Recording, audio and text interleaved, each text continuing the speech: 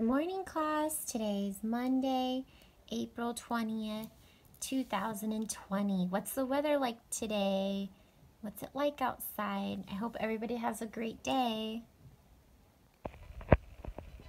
Okay, class. Today we're going to take three pages out of our red workbook with the rip out pages. So it's going to be 235, 237, and 239. So go ahead and rip those out of your out of your red workbook and then fold your little story in half.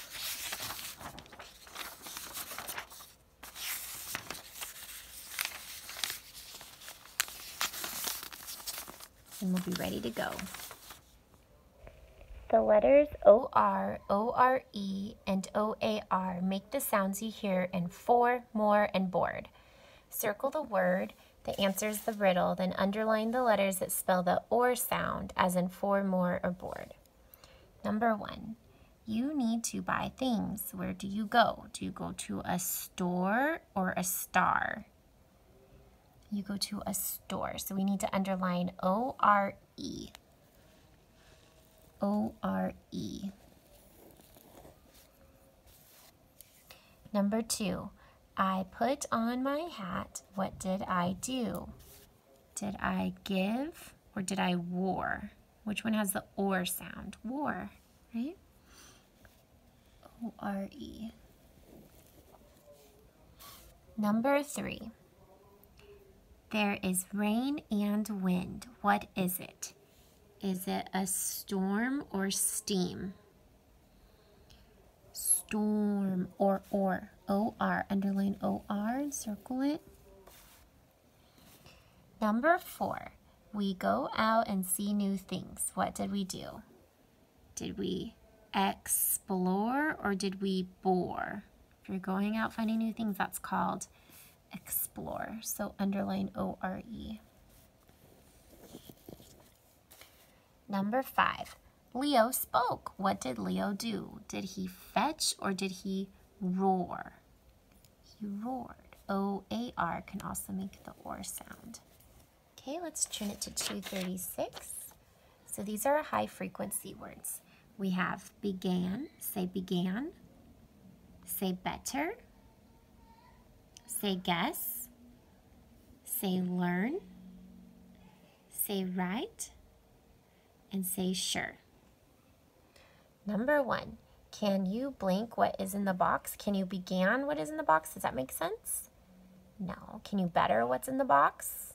No, that doesn't make sense either. Can you guess? Yeah, can you guess? G-U-E-S-S and then cross it off. Number two, I am blank. I will do well on my test. I am began. No, I am better. I am learn. I am sure. Yeah, I am sure I will do better on my tests. S U R E. Sure. Number three, mom blank to cut the cake. Mom began to cut the cake. Yes. Big, ah, mm, began. All right, you guys have three more to do. Try to do that on your own and then we'll do page 237. Okay, this is page 237. An idea is a picture you see in your head. For example, I have a good idea for this story. So an idea is a picture you have in the head, in your head. Something that is unusual is not common. What an unusual hat you have. So something that's not usual is uncommon. Like this lady has a birdcage hat, right? Okay, so we're going to write down idea or unusual. Number one, Dan has an blank for fixing the vase. Dan has an idea or an unusual? He has an idea. Okay, so we're going to write down idea.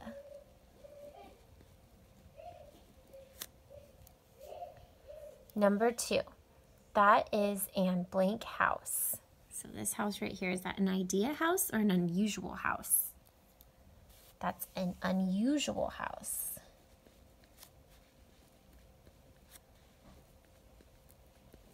Means not common, right? Would that be a cool house to have, a rocket ship house?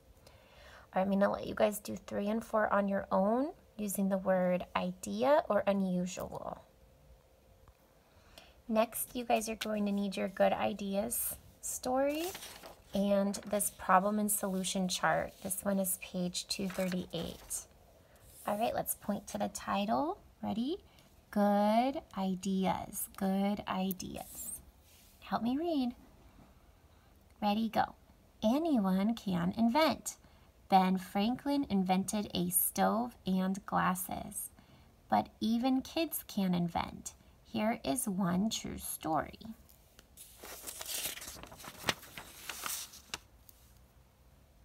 Ready, go. KK liked winter. She liked to play outside, but her hands got so cold in the snow, she wanted to spend more time in the snow.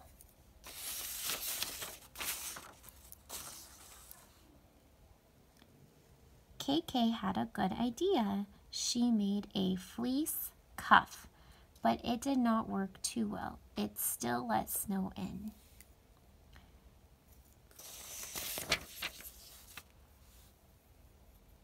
Ready, go. KK made some changes. The cuff worked much better than before. Soon, lots of people wore her cuff. KK's idea was a hit. Okay, so now we're going to do page 238. And it says fill in the problem and solution chart. Okay? All right, so in this story, it says anyone can invent. Here's a true story. This story is about KK. But there is a problem. Let's find the problem. KK liked winter.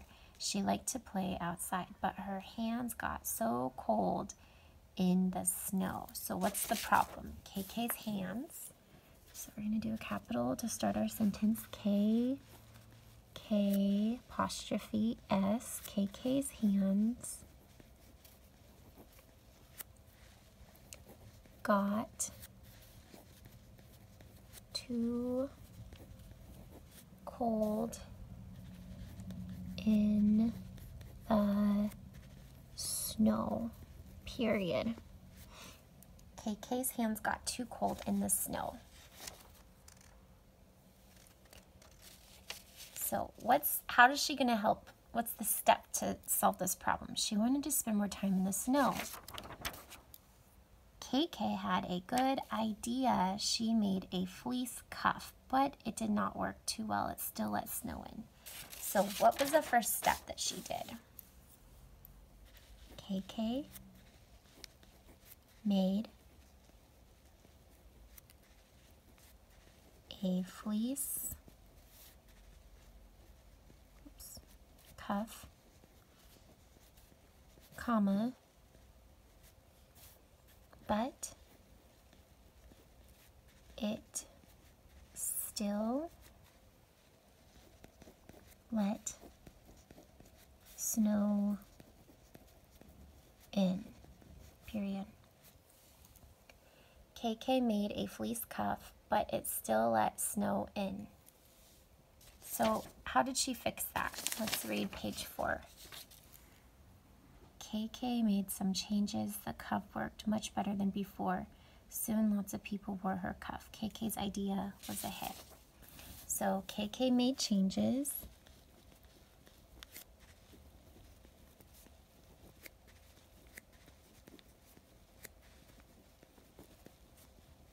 And the cuff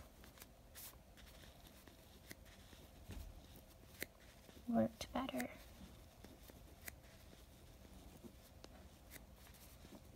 Period. Now, if you guys want to word these a little bit differently, that's okay. All right. So next, if you guys can get out your math workbooks or if you need to print them off the Dropbox, we're going to do the Check My Progress for Chapter 8. It's page 587 and 588. And then we're also going to do Chapter 8, Lesson 5, Telling Time to the Hour Analog. And this one goes all the way to page 592. So if you want to pause the video and get those out, go ahead and do that. If not, here we go. So we're going to do our vocabulary. So everyone say length and then say unit. Okay, so you can use cubes and paper clips to measure. Each cube or paper clip is one? What's that called? Unit. Say unit.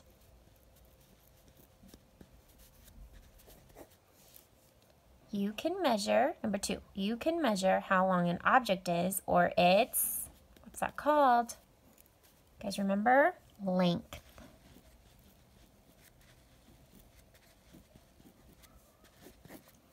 Number three, circle the shorter object. Which one's shorter? The chalk, right? What about number four? Which one's shorter? Skateboard. Okay, so we're going to write one for short, two for shorter, and three for shortest. Okay, so this one's short, so we're going to put a number one. But this one's shorter, the blue one's shorter, and the orange chalk is the shortest. Okay, let's flip it. Number six, order the objects by length. Write one for long, two for longer, and three for longest. Hmm, it's close, right? Number one is long. I mean, the glue stick is number one, and then the scissors are a little bit longer, but the paintbrush is the longest. All right, so about how many um, counting cubes, connecting cubes would fit onto this highlighter? Let's see. One, two, three, four, five, six, about six, five or six. Gia, number eight. Gia has a box, a globe, and an apple. The box is longer than the globe. The globe's longer than the apple. So is the apple longer than or shorter than the box? Shorter, right? Okay, here's our test practice. Which object is longer than the pencil? Is, the pen? No. The stapler? The eraser? The paints? Ding, ding, ding. You're the winner. okay. All right, you guys. So our essential question is, how do I determine length and time? What does the clock say? It says, Time flies when you're having fun. So this one's called an analog clock, right? So Robbie has band practice that starts at 3 o'clock. So we're going to show that time. So 3, we're going to put the small hand at the 3. And the long minute hand's going to be at the 12. The practice is over at 5. Okay, so the practice is over at 5. So show that time, chase the hands to show. So how many hours is between? So three to four would be one hour and four to five would be two hours, right? Let's turn it over. There are two kinds of clocks. This is an analog clock. The hour hand is shorter. So the red hand right here is called the hour hand. It's shorter. And the longer hand is called the minute hand. So right now it's three o'clock. Three, three o'clock. So what time would it be on this one? Nine o'clock. Nine, nine o'clock. Two o'clock. Two, two o'clock. Eleven o'clock. Eleven o'clock. Six o'clock. Six, six o'clock. Where are the hour hand and the minute hand when it's four o'clock? Well, you know what? Let's draw a picture. 12. 1, 2, 3, 4, 5, 6, 7, 8, 9, 10, 11. So remember the hour hand's the short one, so they want 4 o'clock. So we're going to put a little hand at the 4, and the minute hand is going to be longer. It's going to be at the 12. So that shows us, oops, sorry, that shows us 4 o'clock. Okay. All right, this one right here, they want you guys to do on your own. Let's go ahead and do the back together. Ava gets home at 3 o'clock. Evan gets home one hour later. What time does Evan get home? So what's after 3? What's after 3? One hour later would be 4 o'clock, okay? So put your hour hand at the 4 and your long minute hand at the 12. 4 o'clock. Evan gets home. Number 14. Roger begins reading books at 7 o'clock. He reads for one hour. So what time did he stop? So one hour, what's one hour after 7? 8. So put the short hand at the 8, that's called the hour hand, and the long hand goes up to the 12. 8 o'clock. Okay. Antonio tried to set the hands on his clock for 9 o'clock. Tell why Antonio's wrong. What did he do wrong? Do you guys know? What? He did 1245. Remember the red, the short hand's supposed to be at the 9 and the long minute hand's supposed to be at the 12. Huh. So we can write he mixed up the hour and minute hands. Silly, huh? Mixed them up. They're backwards. Flip it. Got it? Okay, class, if you guys have your science book out, the one with the dolphin, we're going to open it up to page 192. Go ahead and pause the video if you want to open your book up to page 192. Okay. We're going to read this together. You ready? Life cycle of a plant. A life cycle is the stages a living thing goes through during its life. A watermelon plant begins as a seed. Then it grows into a small plant. The plant changes. It grows into an adult plant. Draw the missing arrow in the life cycle. So you guys are, all you guys need to do is make the young plant, and we're going to make an arrow goes to the adult plant, and then the adult plant will get fruit with seeds. And then those seeds will start all over. It's a little cycle. Okay, let's read one more page together. Ready? Animals have life cycles too. A tapir is an animal that lives in the forest. A young tapir will grow and change. It will look like its parents. It will have offspring or young of its own. Okay, so first we have the adult. Sorry, first we have the newborn. We'll go into a young tapir, which will go into the adult. And then they'll have their own babies again. Okay? Circle the main idea, underline two details. So the main idea is that animals have life cycles, right? And then tell me two details. I'm going to do um, it's going to have offspring of its own. And I will do a young tapir will grow and change.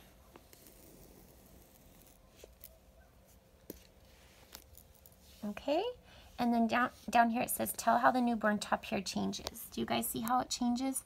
Look how adorable. Is it small when it's a newborn? Yeah, and look at its fur. It's got some stripes and then it gets bigger and then it kind of loses its strip. Even its nose gets a little bit bigger. Do you guys notice that? Or its snout? Are those funny looking animals? They're kind of cool, right? Okay, have a great day, you guys. Don't forget to read a book by yourself.